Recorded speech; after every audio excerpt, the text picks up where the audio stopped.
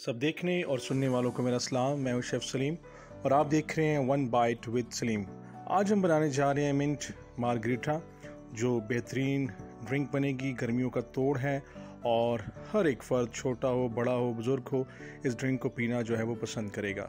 तो आए हम इसके लिए, हमें कुछ चीज़ें चाहिए। सबसे पहले हम अच्छा एक ब्लेंडर ले लेंगे साफ़ सुथरा।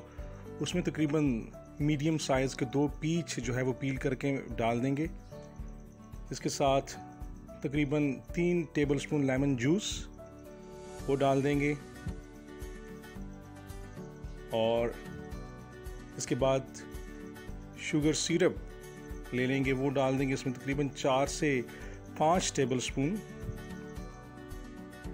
और इसके बाद फ्रेश मिंट ये बड़ा ज़रूरी है, ये आपके पास फ्रेश होना चाहिए।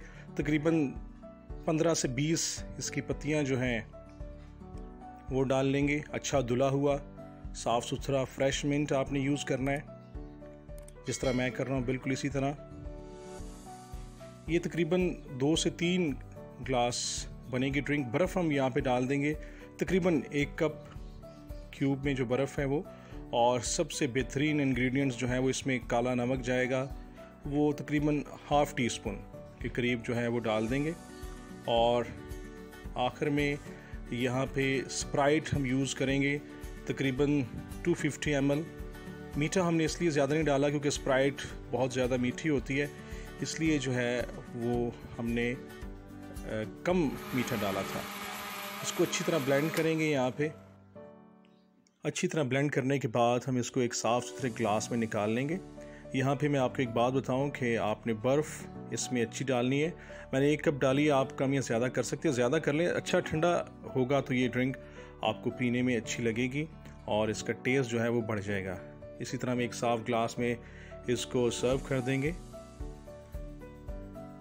बिल्कुल, इस तरह। ये रेस्टोरेंट स्टाइल में आपको तैयार मिलेगा, मिंट, मार्गरेटा विद पीच। यकीनन आपको ये ड्रिंक पसंद आएगी।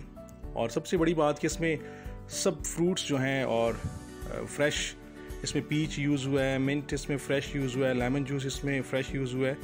उम्मीद करता हूँ कि आपको आज की रेसिपी पसंद आएगी। मिलते हैं अगली वीडियो में, तब तक के लिए अपना ख्याल कीजिएगा। अल्लाह हाफिज़ होने के बाद।